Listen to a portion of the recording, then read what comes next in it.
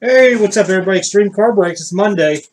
I got knock this mail day out because I got a package here and I'm not too sure what's in it. As you can see, it's been pretty damaged from uh, shipment, so I don't know if this was uh, something I ordered that's sports car related or not, but I wanted to open it up in case uh, it is damaged. I'll have it on tape and I can get it, you know, replaced. So, uh, first package, nastybreaks.com. Told y'all, guys can get go into breaks if you don't have me breaking. I'm telling you, nastybreaks.com, platinum.com. Those are the ones I go to. They're fun, energetic, good people. So you can see Nasty Breaks. I had the Lakers, as you can see, a break. Hit on a filler. I did not do well. We'll just say that. Lucky it was a filler. So this year's Immaculate Magic Johnson 43 out of 99. Auto. Immaculate Ink. Clint Capela out of 75 I had. And a Wilt Chamberlain Relic out of 10. It's surprising that, you know, when you say it's out of 10, you'd think it'd have, like, something crazy in there, but it didn't. Well, like I said, I didn't do very well in a break, but, you know, being a filler and hitting it, you can't be too mad out of it all. Alright, next up, leaverisers.com. Look. I'm pretty sure it is. No, it's an eBay. eBay. This is eBay. Off of eBay. Picked this up. Um, on an auction it was ended. Everybody knows I like my vintage. Sorry to take that off. PSA 5 Brooks Robinson from 1959 Topps. I like this design. I mean, I know a guy is dinged down here in the corner and really off-centered a good bit. But overall, I like the set, so I picked it up. It was a good deal. Can't ever pass up a good deal. You know how that is. So not too bad there.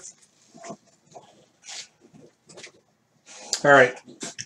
I covered up the label on top up here just so the cop camera can't see it. I've I never see anybody. Somebody use postage stamps, guys. No lie. so I wanted to open up on camera just to make sure everything was good. Um, it's very, very different.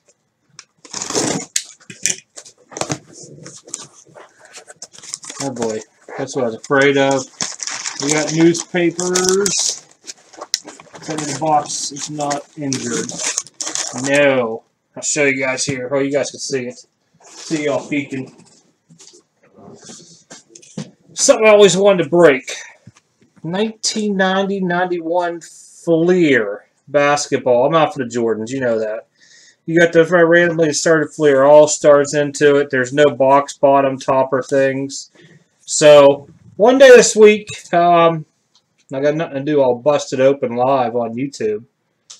So you guys make sure you subscribe to that channel because then you'll know I'm live. You can watch me break some old school stuff here.